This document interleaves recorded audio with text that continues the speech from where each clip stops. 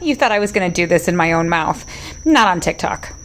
The easiest way to tell if your cultured pearl is real is to do the tooth test. This is not the tooth test, so don't bite down on your pearls.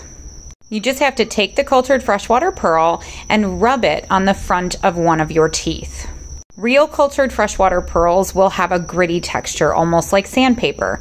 If you don't feel the grit, the pearl's not real.